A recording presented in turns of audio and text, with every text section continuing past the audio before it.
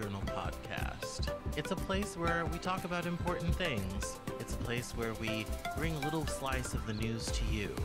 It's a place where we do important things, have important conversations. It's also things that I like to talk about. My name is Cameron Cowan, and this is the Cameron Journal Podcast.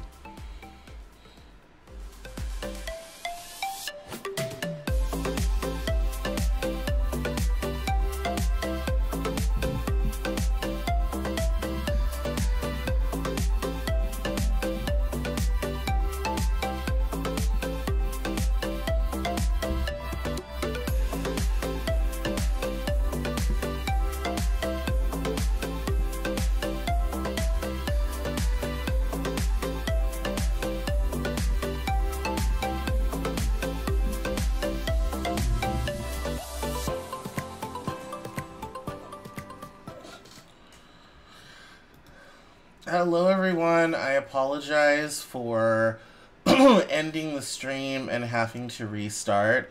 I had some technical issues on this side um, to do with internet bandwidth. Um, I don't have great internet here. I've never had great internet here. And for the longest time, it didn't matter because I didn't do video and didn't do streaming. Now that I do video and streaming, my lackluster connectivity is beginning to show. So I'm going to start over with what I was talking about before.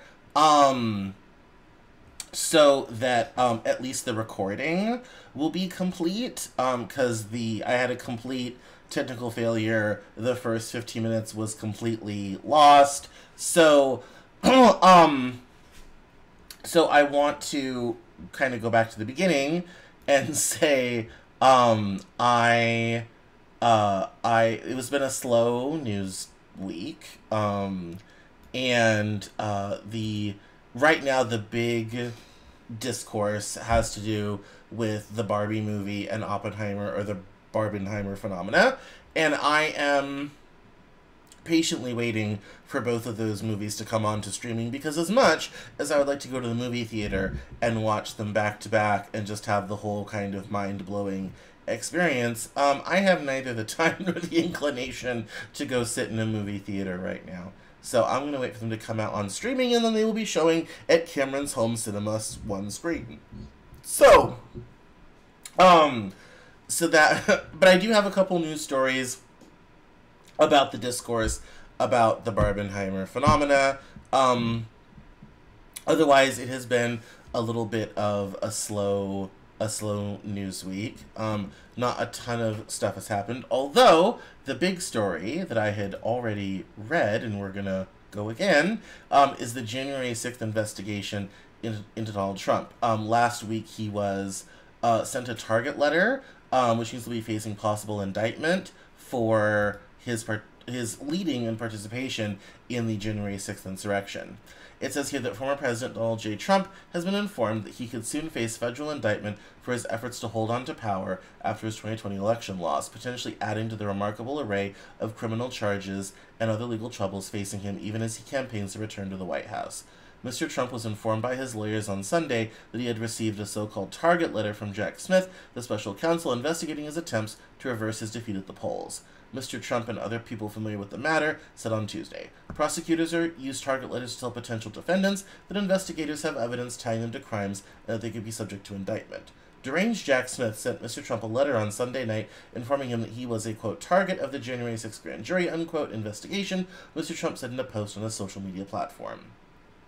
Such a letter almost always means arrest and indictment, wrote Mr. Trump, whose campaign is rooted in accusations of political persecution and a promise to purge the Justice Department and Federal Bureau of Investigation of personnel he sees as hostile to him and his agenda. Mr. Smith's spokesman had no comment. An indictment of Mr. Trump would be the second brought by Mr. Smith, who's also prosecuting the former president for risking national security secrets by taking classified documents from the White House and obstructing the government's efforts to reclaim the material. Mr. Trump is also under indictment in Manhattan on charges related to hush money payments to a porn star before the 2016 election, and he faces the likelihood of charges from the district attorney in Fulton County, Georgia, who's been conducting a wide ranging inquiry into Mr. Trump's attempts to reverse his 2020 election loss in that state. The target letter cited three statutes that could be applied in a persecution applied in the prosecution of Mr. Trump by Mr. Smith's team. A person briefed on the matter said they include a potential charge of conspiracy to defraud the United States and a broad charge related to a violation of rights. Whether Mr. Smith and his prosecutors will choose to charge Mr. Trump on any or all of those statutes remained unclear, but they appear to have assembled evidence about an array of tactics that Mr. Trump and his allies used to stave off his election defeat. and it goes into some other people and who uh, and what he is up to and him wanting to clean out the FBI and the Justice Department and all the machinations they went through, including the fake electors, um, trying to convince Mike Pence to stop it in uh, the joint Congress to just certify the election, and uh, and also to uh, try to rig the vote in in Georgia. So, um, and obviously we all know ultimately this led to January 6th, the day they were certifying the vote, of people going to Washington for a march and it turning into a complete disaster, um, wherein we almost lost democracy. Um, so that is um, that was kind of the big news story last week. I before I had technical issues, I was remarking on the fact that as difficult um, as this all is for the country. And as much as I think it is very important, I can't help but be reminded of Adolf Hitler and the Beer Hall Putsch in Munich in uh, 1925.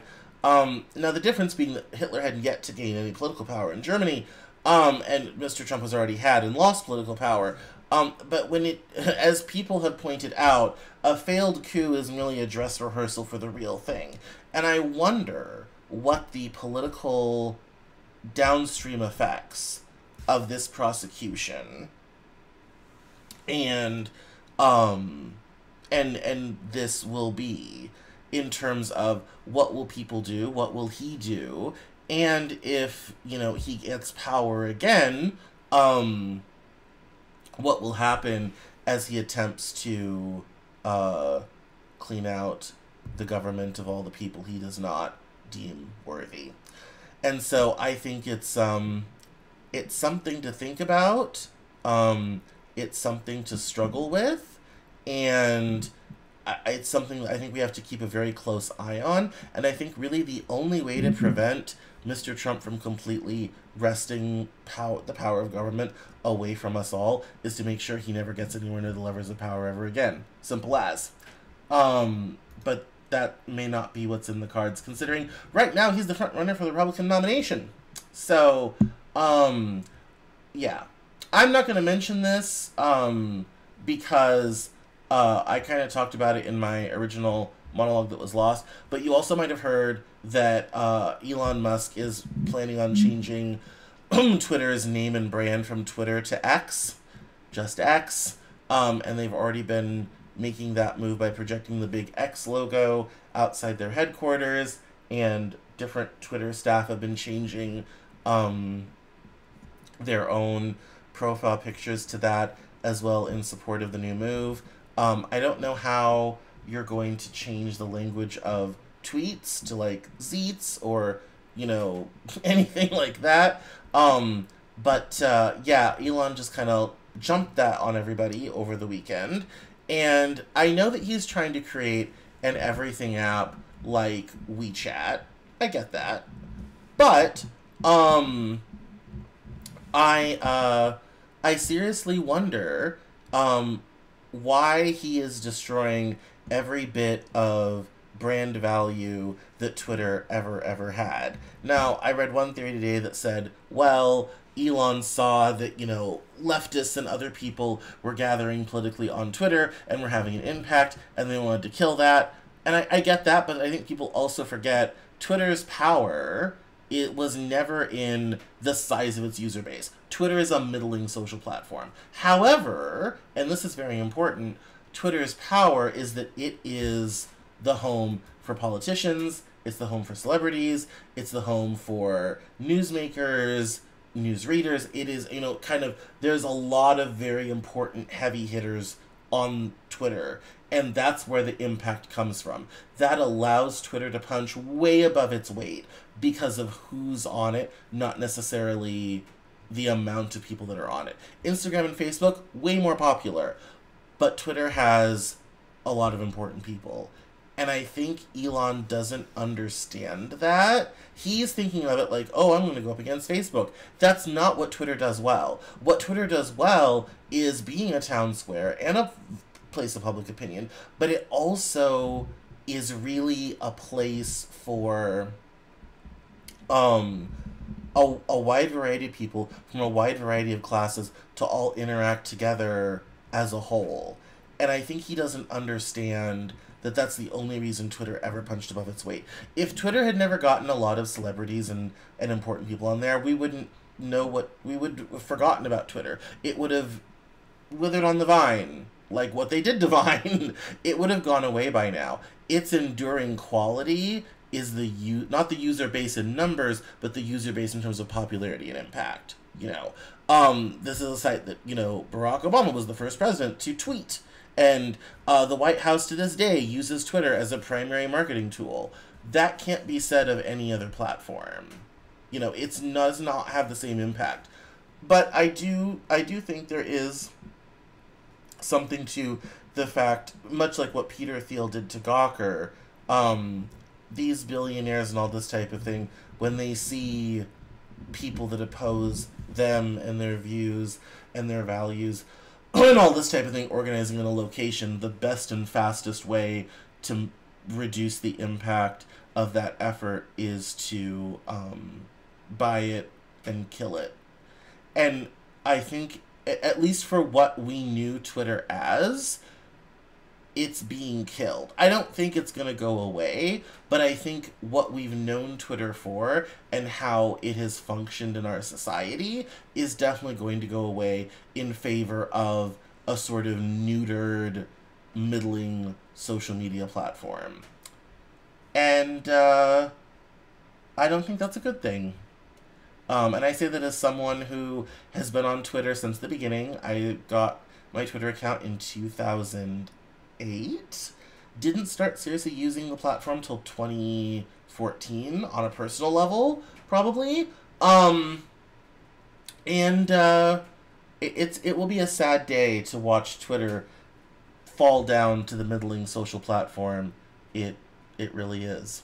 So, uh, let's move on to another story. Um, this is kind of a side note. Um, there was a, a opinion today um, from Tammy Duckworth and Mark Ker- Kelly. Mark Kelly is obviously senator from Arizona, um, and Miss Duckworth is a senator from Illinois, and they uh, did this opinion piece on what is needed in Ukraine.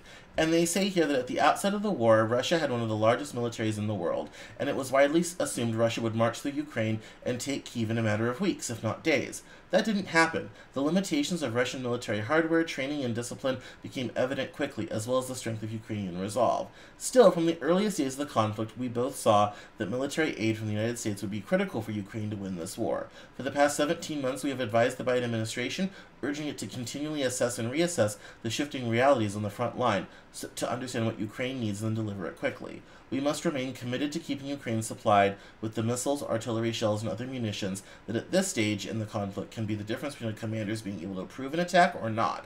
And we have to do that while analyzing where new capabilities like modern fighter jets can give Ukraine the edge. War is dynamic. It requires us to look around the next corner. We heard from President Zelensky and met with other Ukrainian officials, and it was clear to us that Ukraine needs not just guns and ammunition, but also other, newer capabilities that can decisively alter the direction of the fast evolving conflict. In the early weeks of the war, Javelin and Stinger missiles were needed to blunt the advantage of Russian armored vehicles and aircraft, then long range mobile artillery to hit Russian positions. After that, high mobility artillery rocket systems to strike strategic targets farther behind Russian lines and then main battle tanks to break them. Not every weapon system can come off a warehouse shelf and be quickly put to use in the battlefield. That is certainly the case with the F-16. We have both flown in combat. It took hundreds of flight hours to learn to fly the aircraft and more to master the range of different missions we'd be asked to carry out, whether that was dropping bombs on a target or conducting combat search and rescue. That's why we encouraged the Pentagon in March to analyze what it would take to train Ukrainian pilots and maintainers on modern F-16 fighter jets to replace their aging fighters, such as MiG-29s and understand their specific uses in the context of the war. Last week, the United States reiterated its commitment to supporting its allies to train Ukrainian pilots to fly the American-made F-16, a great step forward in strengthening Ukraine's capabilities in the long term. And then it goes into the big thing that also happened last week was uh, the cluster munition situation. And and it, it says here the cluster weapons that Mr. Zelensky has requested are effective against spread out targets like groups of dug in infantry, artillery batteries, and vehicle convoys. Those weapons will help Ukraine to carry out a successful counteroffensive and help ensure that its military has sufficient munitions to defend itself. Failing to do so, after all, is what would pose the gravest risk to people who call Ukraine home.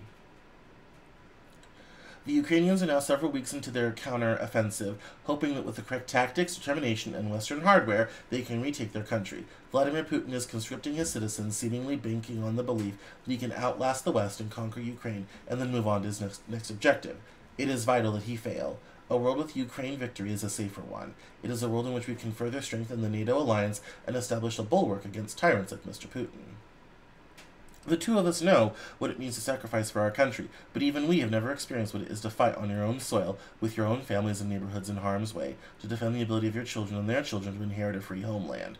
Now, as much as ever, we must remain steadfast in our belief that the Ukrainian people and un- are undeterred in our work to give them the support that they need.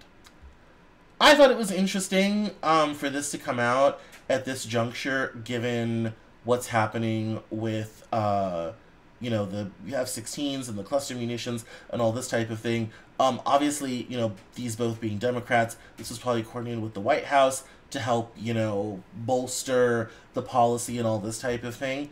Um, there's when it comes to the cluster munitions because they cause such damage. The Ukrainians have agreed to document where they use them to clean them up afterwards. The Russian ones oftentimes dud and don't work, and that will be something the Ukrainians are cleaning up for decades, probably.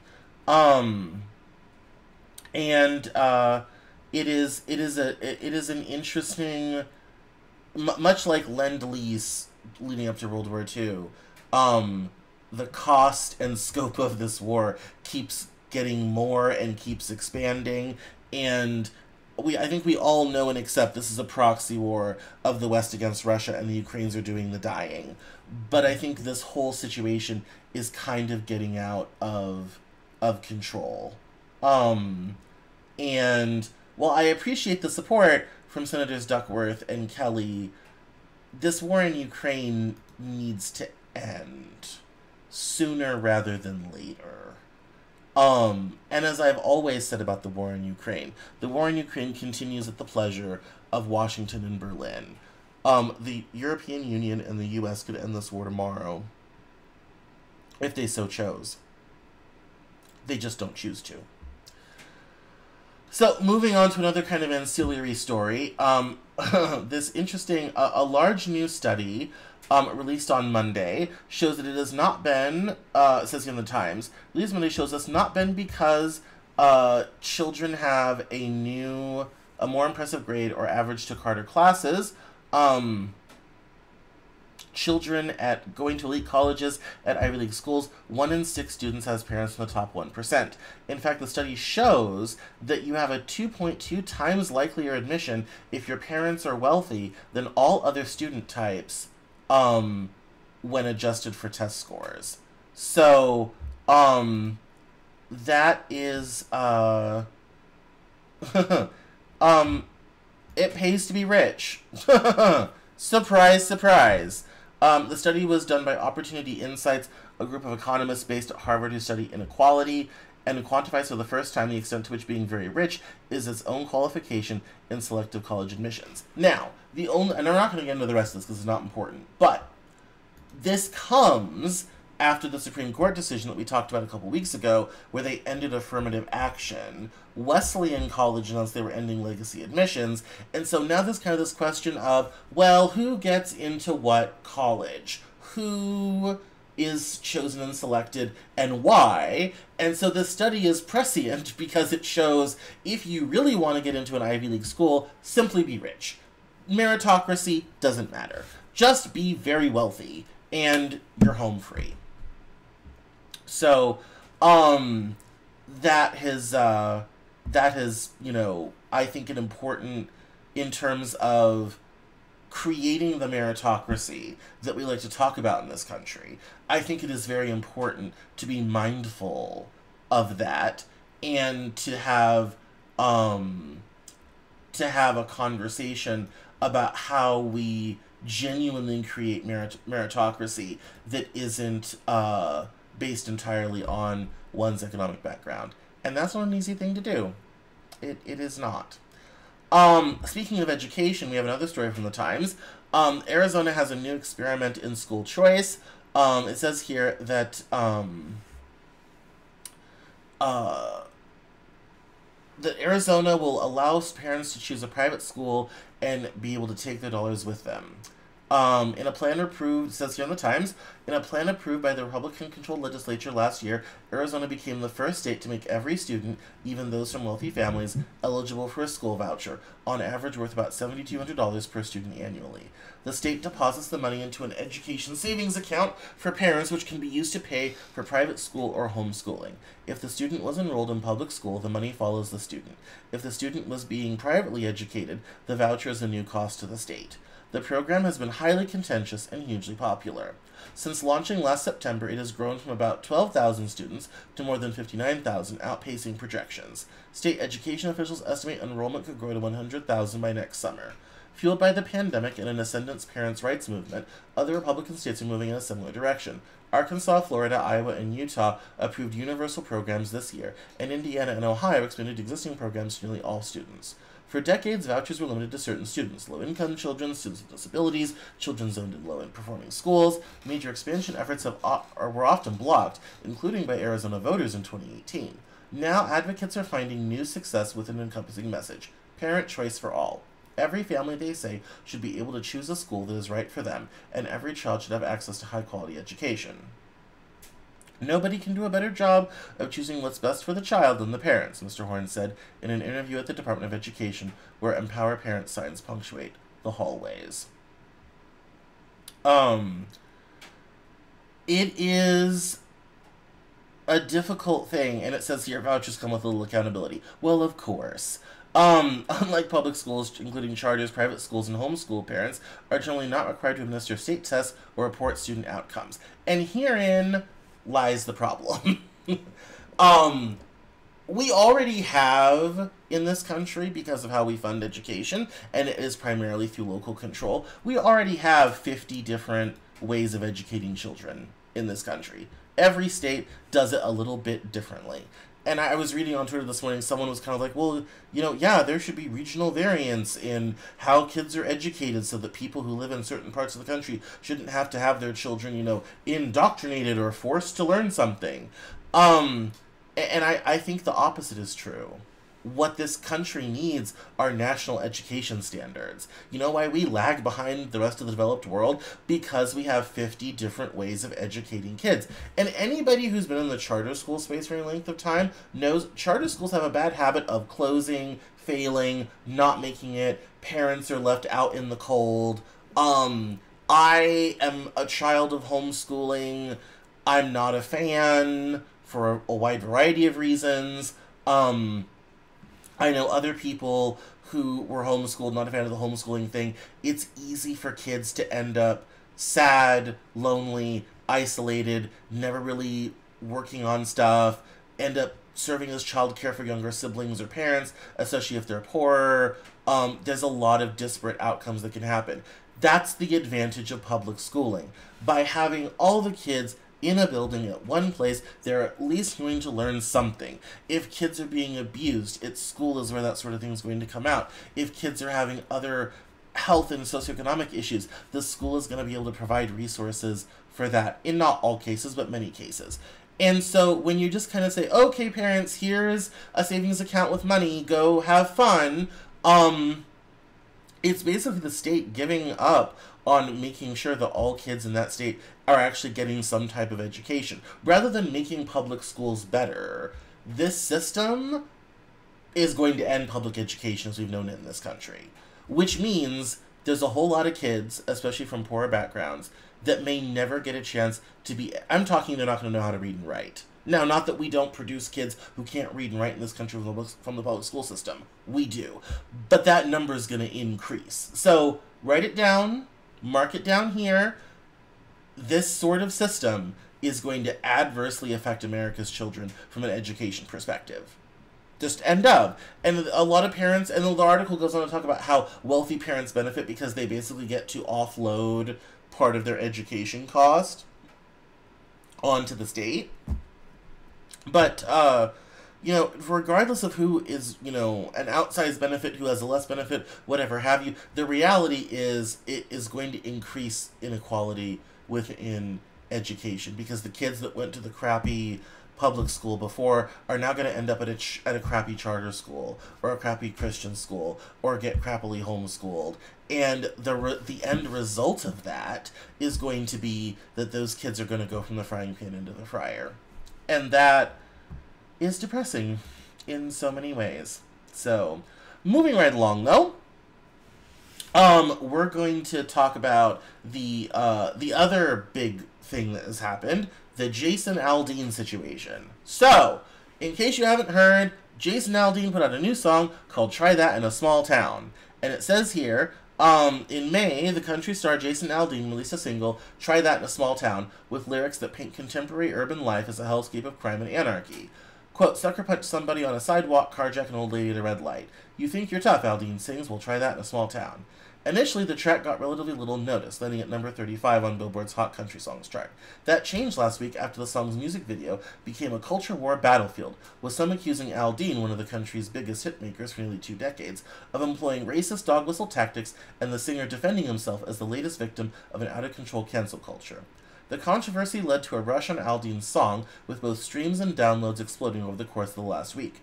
Try That in a Small Town makes its debut as number two on the Hot 100, Aldean's best showing ever on Billboard's all genre pop chart, beating current hits by Olivia Rodrigo and Morgan Wallen. Aldean was surpassed this week only by Jungkook of the South Korean supergroup BTS, whose debut solo single 7 opens at number 1. The video for Try That, released on July 14th, opens with Aldean performing before a stately building draped with an American flag. The structure was quickly identified as the Maury County Courthouse in Columbia, Tennessee, where a 1927 young black man named Henry Choate was lynched in a vigilante mob after being accused, falsely historians believe, of raping a white girl. The video features one montage after another of violent street protests, robberies, and people antagonizing police officers in riot gear. Those scenes are juxtaposed with images of American flags being hoisted, children playing what appears to be a television news segment about farmers helping out a neighbor. And then it goes on to the whole discourse about how it is all, um, how it's all gone on, and and what people have been talking about with it. And I will I will say, kind of only this um, and that is that uh, to a certain demographic who lives in smaller cities or smaller towns, I know this because a lot of them are in my family. Um, they look at the images promoted on Fox News of the way big cities are, and that's what they perceive. Um, and I say that as someone who lives in downtown Seattle, in a not great part of town. My car has been broken into twice just this year. Um, I don't park downtown anymore. Um, I actually put my car in storage.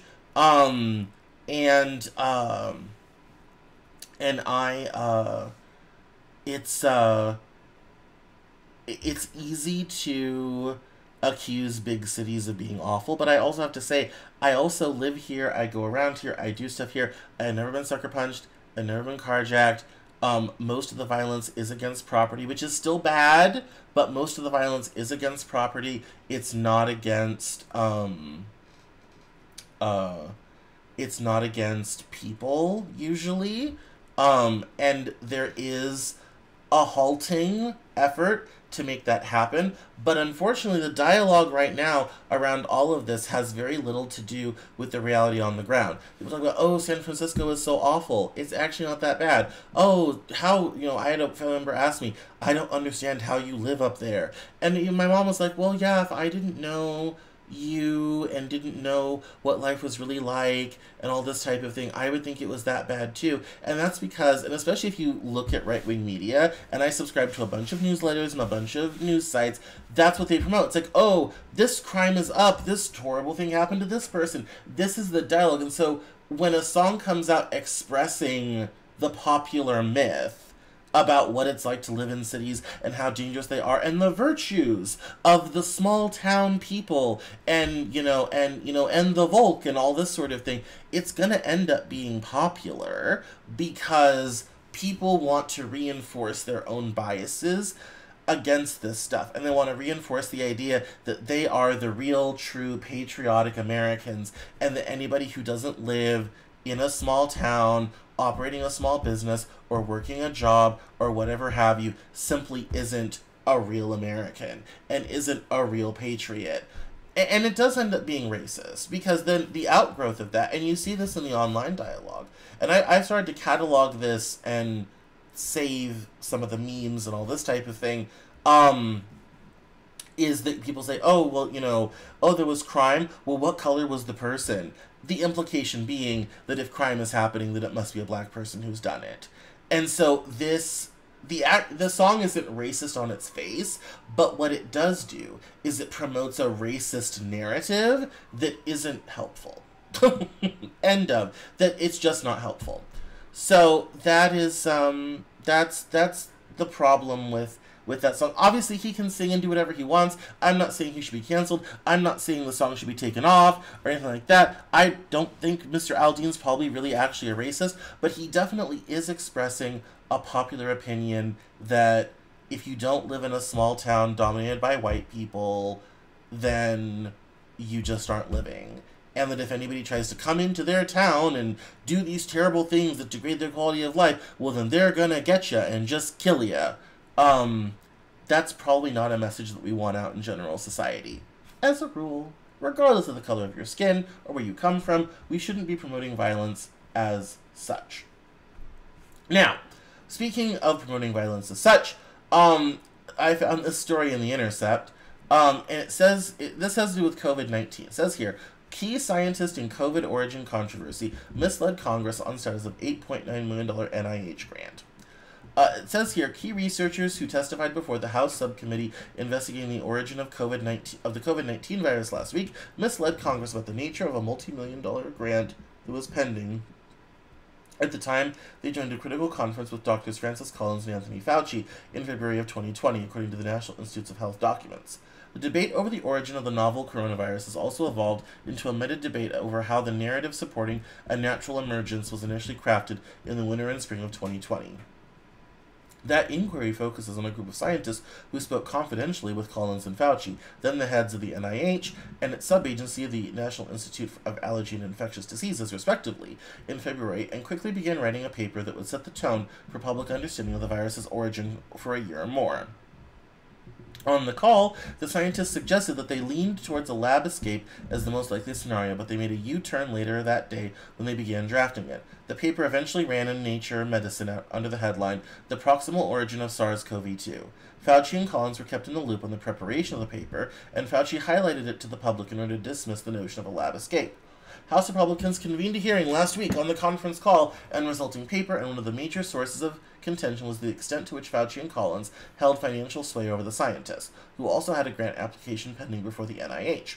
Democrats repeatedly characterized the argument in terms of a bribe being paid in exchange for a paper that exonerated a lab in Wuhan, China, that the NIH had been funding to do the kind of risky research that could spark a pandemic. Rather than a bribe, though, the question is one of leverage. Kristian Andersen of Scripps Research, who testified at the hearing along with Bob Garry of Tulane University, preempted the charge in his opening statement, telling the committee he had no live fundraising requests before Fauci's agency at the time of the call. There is no connection between the grant and the conclusions we reached about the origins of the pandemic. We applied for this grant in June of 2019. It was scored and reviewed by independent experts in June in November of 2019. Andersen testified. Based on the actual timeline of this grant, it is not possible that the merit based federal grant awarding process was influenced by a call in February of 2020. Democrats, including Michigan Rep. Debbie Dingell, defended the integrity of the scientists. Under her questioning, Andersen reiterated that the grant application could not have possibly influenced his willingness to publicly entertain the chance that risky research at the Wuhan lab may have led to the pandemic. If the grant were scored and reviewed as part of the NIH's transparent merit based process in November 2019, is there any way that the awarding of the grant could have been used as a bribe during the February 1st, 2020 conference call Dingell asked? Excluding the possibility that someone is a time traveler, no, that is just not possible given the timeline, Andersen insisted. Garry added, I agree. Both knew that was false. Uh, newly uncovered messages indicate that Andersen was keenly aware that, that perception of him among gain of function research advocates, such as Fauci, hinged on how he responded to the question of COVID's origin. Andersen and Garry did not respond to requests for comments. And it goes on to get into the messages and the grant and all this type of thing, and we needn't talk about all that. But the reason I wanted to bring it up is because for the longest time, um, it was generally accepted that, uh, you know, that they did come from a natural source from a wet market in China. And then the lab leak hypothesis came out. In fact, Bret Weinstein and Heather Heying were at the forefront of that. That came out, and it kind of seemed like a crazy conspiracy theory. And then it became so true, it became a punchline of like, yeah, we all know it came from a lab now. Like that, it has now become part of the discourse about COVID that it did indeed come from a lab. It really is indeed a thing, and that, um, and that happened and was and was legit. So the fact that we're still investigating this and talking about this, and that there appears to be some uh, division on the subject, I think is is interesting, especially giving given funding mechanisms and and all this all this sort of thing. so the last few articles I have, we're going to move quickly because of our technical issues. Um, I have two stories about the Barbenheimer situation. Um, one is the money. So, um, the uh, bumper box office broke the usual pattern for blockbuster opening weekends, with several films contributing to the big numbers.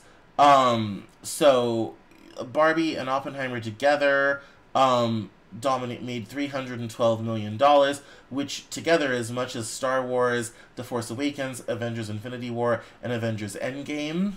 Um, and uh, and it they say it shows that Hollywood is maybe bounced back from the pandemic. Um, and uh, and I think it's also interesting, um, and they point this out here as well, that um, this is the first time we've gotten major numbers from movies that aren't Marvel or comic book focused, which I think is good.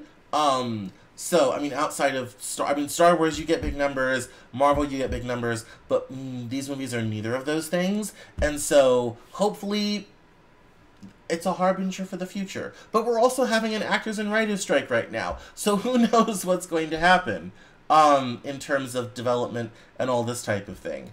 Um, but the last part of the story I want to talk about um, is another story from the New York Times, and it is entertaining because it involves our friend from Florida, Matt Gaetz. And it says here, last week, Representative Matt Gaetz and his wife Ginger arrived at a Washington reception for Barbie in matching pink, grinning in photos alongside the pink carpet, mingling among guests, sipping pink cocktails, admiring a life-size pink toy box. They left with political ammunition. Quote, the Barbie I grew up with was a representation of limitless possibilities, embracing diverse careers and feminine empowerment, unquote, Mrs. Gaetz wrote on Twitter. The 2023 Barbie movie unfortunately neglects to address any notion of faith or family and tries to normalize the idea that men and women can't collaborate positively. Yuck. When another account scolded Mr. Gaetz, the hard right and perpetually stunt seeking Florida congressman, for attending the event at all, citing the casting of a trans actor as Dr. Barbie, Mr. Gaetz replied with a culture warring double feature. If you let trans stop you from seeing Margot Robbie, he said, leaving the T off the first name of the film's star, the terrorists win. The non-terroristic winners were many after the film's estimated $155 million debut. Miss Robbie and Greta Gerwig, the film's director, finding an eager audience for their pink-hued feminist opus.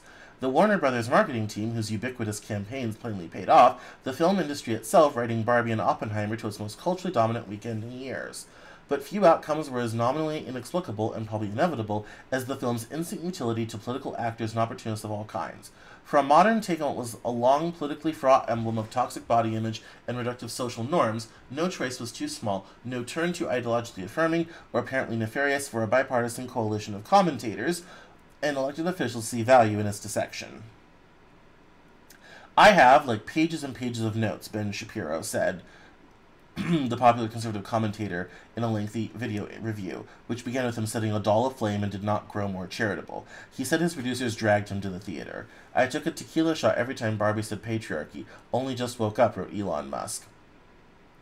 Here are four ways Barbie embraces California values, the office of Gavin Newsom, the state's Democratic governor, wrote in a thread hailing Barbie as a champion of climate activism, hitting the roads in her electric vehicle, and of destigmatizing mental health care. If there was a time in the culture when a giant summer film event was something of an American unifier, a moment to share overbuttered popcorn th- through big budget shoot 'em ups and sagas of insatiable sharks, that time is not 2023. And as ever, the political class's performative investment in Barbie, the outage and the embrace can seem mostly like a winking bit what to make of Governor Gretchen Whitmer, Democrat of Michigan, posing posting a Barbie meant to resemble herself beside the Instagram caption "Come on, Barbie, let's go govern." What does it mean exactly when Senator Raphael Warnock, Democrat of Georgia, says of himself, "This Ken is pushing to end maternal mortality"? Certainly, Senator Ted Cruz, Republican of Texas, has summoned practic- has has summoned practice gravity in accusing Barbie of working to appease the Chinese. Some Republicans have fixated on a scene that features a crudely drawn map that supposedly depicts the so called Nine Dash Line, which indicates Chinese ownership of oceanic territory that is disputed under international law. Vietnam has banned showings of the movie in the country over the image. Obviously, the little girls that are going to see Barbie, none of them are going to have any idea what those dashes mean, Mr. Cruz told Fox News. This is really designed for the eyes of the Chinese censors, and they're trying to kiss up to the Chinese Communist Party because they want to make money selling the movie. And it goes on to other other parts of the conservative movement, but I wanted to read this thread on Twitter from Richard Hanania. I don't I'm not going to read the whole thing, it's kind of long but I, I've already read it, and so I'm going to um, I'm I'm going to uh, read the important part. It says here, in the final scene, Barbie goes Pinocchio-like into the real world. There's suspense as she arrives in an office, and the audience wonders what's the first thing she decided to do after becoming a real woman. I'm here to see my gynecologist. The movie started with genital jokes, and that's how it ended. This is a perfect encapsulation of the pop feminism the movie represents. I'm a woman, I have a vagina, never mind the trans thing. Life is hard and I have no higher aspiration than to remind you I have a vagina and a lot of the complaints I want to talk to you about. There's not even a hint of anything else Barbie might do in the real world aside from seeing a gynecologist.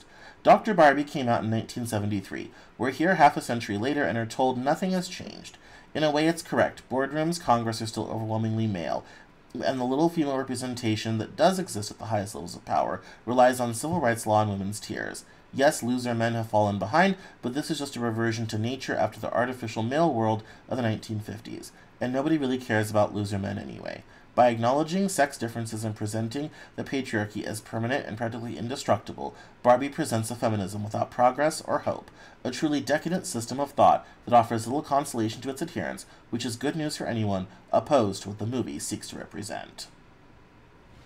So, if you want a preview of the discussions that are going on in the world right now um, about Barbie, that should give you an indication of how it's being weaponized as a right wing as a right wing talking point. So that's fun. I'm sure we're going to be talking more about Barbie and the culture wars and the discussions about Oppenheimer have not been nearly as prescient, although one person became the Twitter main character for a hot minute because she said, How can we have a movie about a bomb used against the Japanese and no Japanese people appear on screen?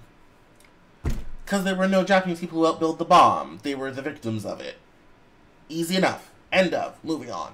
Um, there was another one I saw um, where it was complained about the uh, the straight the straight white male brooding and sadness and emotion and how that was somehow bad or wrong or something like that, which I thought was an odd take. But um, it, I find it interesting that the right is choosing to attack Barbie and not Oppenheimer. Um, but I think that has to do with cultural impact because Barbie made three times as much money. So there you go. So I'm so sorry for the technical issues tonight, guys. I'm gonna work on that for next week. Um, I appreciate you and thanks for watching, and I will see you next week on the Cameron Journal News Hour. Uh, don't forget to catch me online um, at Cameron Cowan on Twitter, or should I say X, and uh, and all your other favorite social media platforms. So we'll talk soon now. Bye bye.